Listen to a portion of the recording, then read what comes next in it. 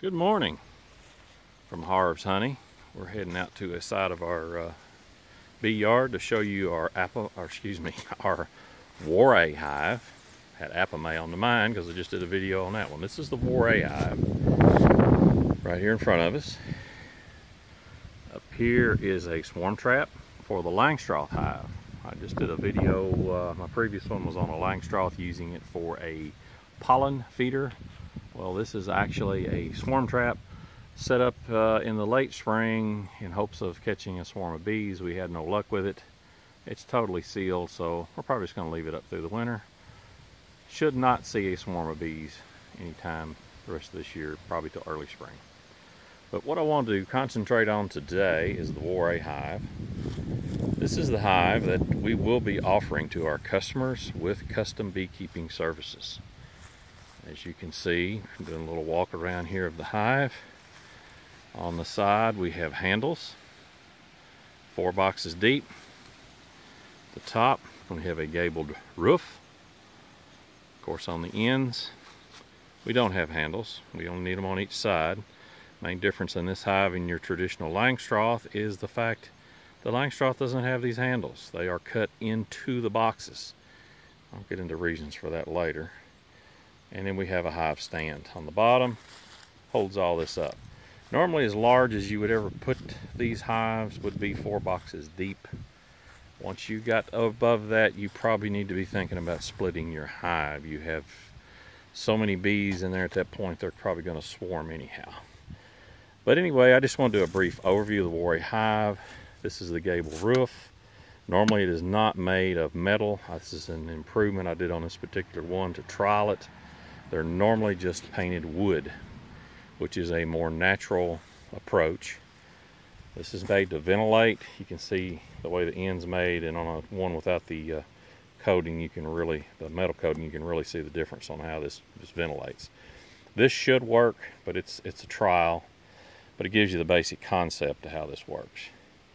I'm going to attempt to open this one-handed while I make the video. Okay, the top, as you see, is coming off. A little hard to do to uh, hold that phone and do this, but we're going to do it. You might see some crazy pictures while I'm doing it, but anyway.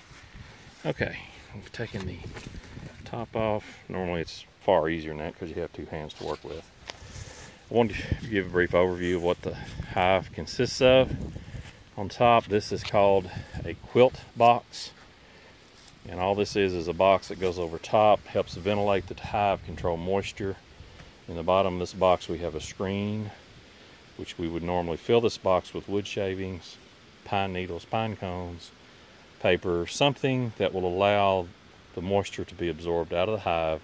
Natural condensation will not occur that way. It will take that moisture out because if you have condensation in your hive and your bees will naturally produce that curing honey, in the wintertime it could be detrimental to them. So that's why he developed this, to get rid of the moisture naturally. So when we pull the quilt box off, below that we have a piece of burlap. This also acts to absorb moisture out of the hive. It is merely a burlap sack cut to size with a flour paste, a whole flour natural paste on it, allowed to dry, and the reason for that gives it rigidity normally your burlap would just flop. It wouldn't do well. This lets it hold up on top of the top bars which this hive has or you would also use them on frames. If you had a framed Warre hive do the same thing. So we remove that to get down to the top bars. You can see this is propolis. This is what the bees use to naturally seal their hive. This hive went vacant last year. We have not used it but I figured it would be a great one to show you how they work to get into this hive, we would use a hive tool to actually pull these bars because they're going to be glued down and they're going to have comb going down in that box. I'm going to show you three different hive tools.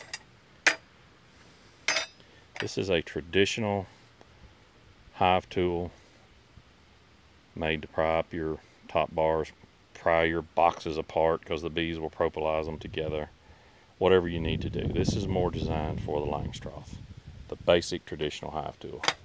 Beside that we have a more advanced version, again more designed for the Langstroth. These don't work well on a War top bar and I'm going to show you why. But anyway, the advantage to this one, it has this hook on the end which would let you get below your frames and hook them up a little easier and pull them up versus prying them like that. If I were to work a Langstroth, this would be my hive tool of choice, number one. This one, number two. They both get the job done. But we're not going to use either one of those in the Warre. We're going to use a special hive tool. This one is designed specifically for top bar Warre hives, which is what this one is. A little different, as you can see. It does have the flat end, which you would use that primarily should you need to pry your boxes apart, the bees and propolize them up. And you will also use the flat end to kind of pry these loose. But the difference is the hook on the end, which are a knife actually. And what you would need this knife for is normally a comb would be built down this box all the way down to the box below it. And the bees attach the comb to the side. So you would have to take this knife, put it up against the side here, go down, turn it, pull it up, cut your comb, Go over here to the next side, down, pull it up, cut your comb from the side of the box. And at that point, your top bar, if you imagine you had comb on here, would pull out and you would hold it like this. I'm sorry I don't have one with comb on it to show you. You wouldn't do like a traditional uh, full frame hive and do all this and hold it that way because if you did the comb would break and fall off. So you have to hold it horizontal and you would do your bee inspection.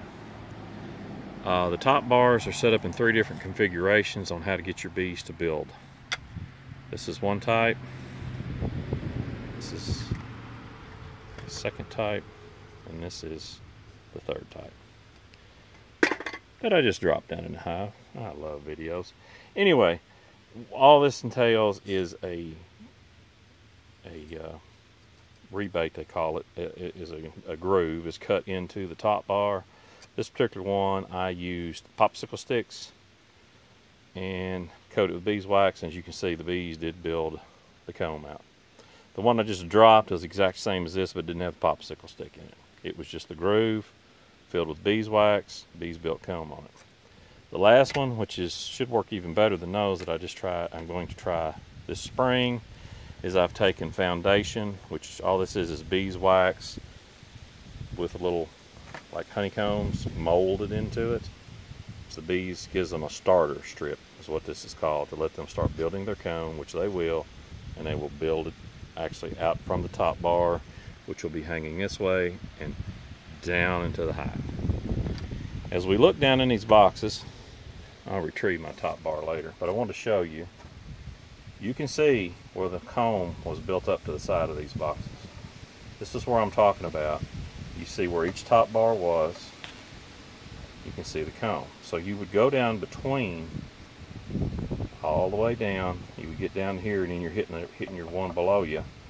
That would allow you to rotate this knife and you just slowly bring it up and cut. Go over to the other side repeat pull your top bar up. Another alternative is frames which are not as natural that can be put in these hives and it allows easier, easier manipulation. When we look down in this hive, we see it basically looks like a chimney. Four high, you would have top bars on top of each of these boxes going down. The size of this box is smaller than a Langstroth. It more closely resembles a tree trunk, which uh, Warre designed the hives in the late 50s for that.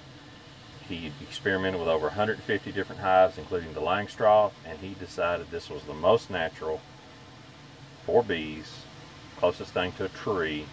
He couldn't make it round to make it easy to build and easy to maintain, so he went with the square configuration. Another great thing about this hive that you do not get with the Langstroth, right now you see my crossbars are running perpendicular to the front, which is the entrance of the hive. This is be your configuration for the winter time. It's called warm way. And what that is, when the air goes in through the front entrance down here, it will go across your combs and then filter up. And it keeps the bees warmer. Summertime, you would merely pick the box up, rotate it quarter of a turn. Then you would have your frames going this direction, which is parallel to your uh, it's a parallel. I'm probably wrong on that. Anyway, it's running against the direction of your front entrance. So that way your, your airflow will naturally go in and come out the top. And it allows the bees to regulate the temperature a little easier. The reason I'm getting into all this about warm way, cold way, uh, you may or may not know bees maintain their temperature 95 to 98 degrees year round in the hive. Just trying to make it a little easier on them, keep that temperature cooler in the summer, warmer in the winter. Okay, uh, that's pretty much everything on this hive. The other difference this one has that is not on the traditional Warre is that screen bottom board. And there's pros and cons to both. I have run the solid bottom board, I've run a screen bottom board. It lets a lot more airflow get through the hive, but it makes it a little more difficult for the bees to maintain the temperature. Uh, probably the best of both worlds on this would be to have the screen bottom board with a uh, bottom below it, a, a, sliding tray or something, much like the uh, Apimaye has, to cut this off to and also catch your pests that fall through there. The, the really the main reason for this is to to get the varroa mite and the hive beetles to fall through that and go down to a board where you can catch them and hopefully a, actually a tray with oil in it and it drowns them and kills them. So that is the big big thing about having a vented bottom board. We're on a solid bottom board, you're, you're not going to have that option. I've run both, similar results with both. So I would probably, from what I've fought with hive beetles, I think this will probably be your best configuration.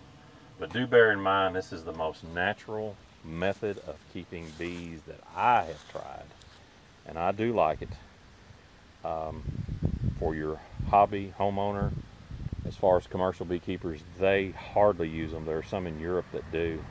Reason being is it's just so much quicker to run with a Langstroth as far as high production, but then you're getting into all the chemicals and what have you to keep the bees alive. You don't need near the chemical and treatment with this hive. It is designed to let the bees more of a hands-off approach. Let the bees maintain themselves. You know, you intervene as needed but uh, we'll get into more on how this works, especially with a working hive this spring, so you'll understand it.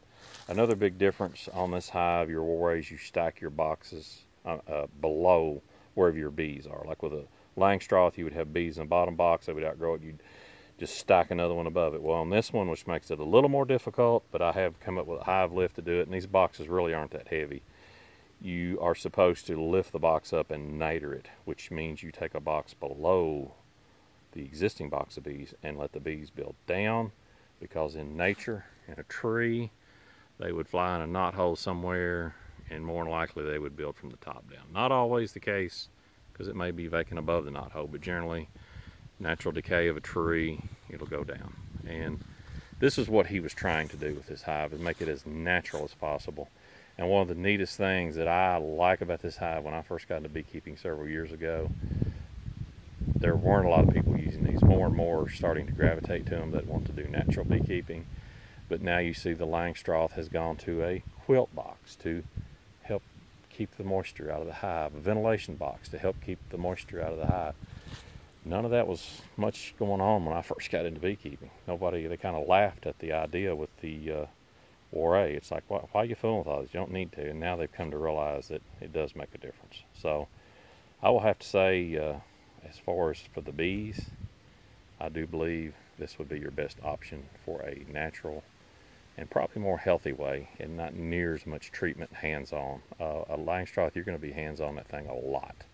This one is less, far less. So anyway, uh, we will be taking pre-orders for this hive. If you are interested, just send an email to harvesnaturalhoney at gmail.com we're going to start looking at what kind of response we get and get an idea of what we need to gear up for for the spring of 2019.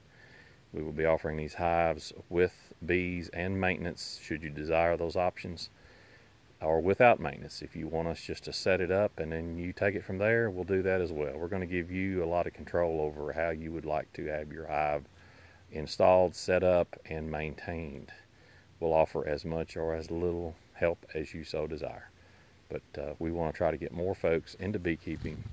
And from our experience, the Warre Natural Hive for the homeowner, hobbyist, absolutely the best. Have a great day, folks.